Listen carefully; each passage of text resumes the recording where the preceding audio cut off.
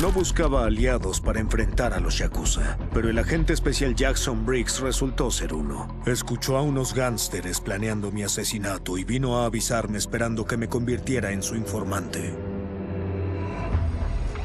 Acordamos separarnos al concluir este asunto, pero luego apareció Shang Tsung para robarse a Sento.